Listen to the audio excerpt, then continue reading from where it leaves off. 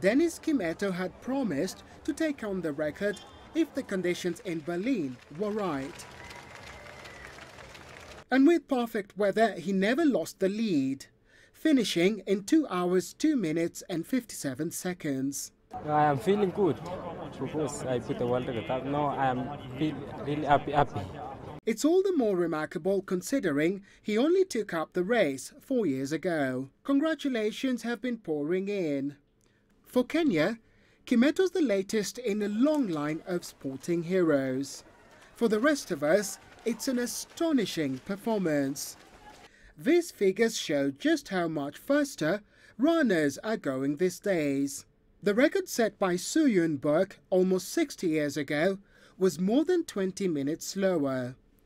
Back in 1988, it was almost 3 minutes slower.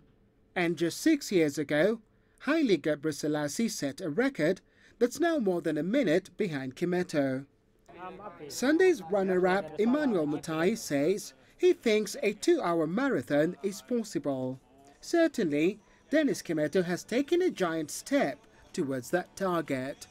Robert Nagila, CCTV, Nairobi, Kenya.